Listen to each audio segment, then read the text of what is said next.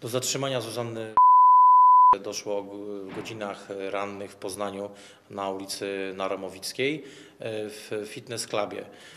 Po y, czynnościach detektywistycznych, wykrywczych ustaliliśmy, że znajduje się ona właśnie we wspomnianym przeze mnie fitness clubie i w godzinach rannych y, z pracownikami naszego biura detektywistycznego y, weszliśmy na teren obiektu, poinformowaliśmy, że dokonujemy zatrzymania obywatelskiego, a następnie wezwaliśmy funkcjonariuszy policji. W czasie zatrzymania y, zachowywała się spokojnie, nie stawiała y, oporu.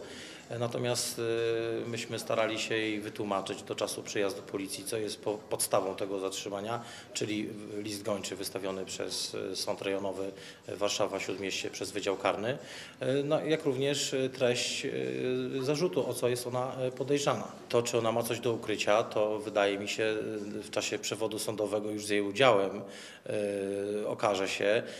Natomiast y, no, byłem zaskoczony y, zachowaniem y, w takim zakresie, że no, była bardzo wulgarna, używała słów wulgarnych, powszechnie uznawanych za obelżywe, również w mojej obecności, czym doskonale w mojej opinii wpisywała się w treść przedstawionego jej zarzutu, ponieważ w dalszym ciągu znieważała naszych mocodawców. Zuzanna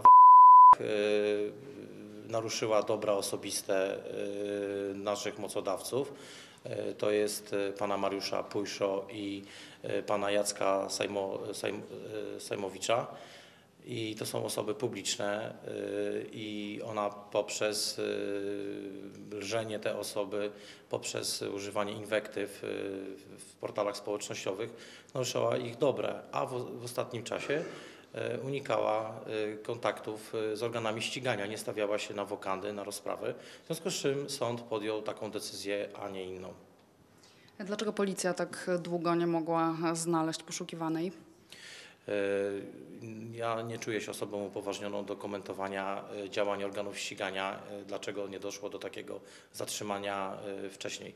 E, Możemy na pewno zważyć, że Zuzanna nie jest osobą, która zagraża bezpieczeństwu czy porządkowi publicznemu.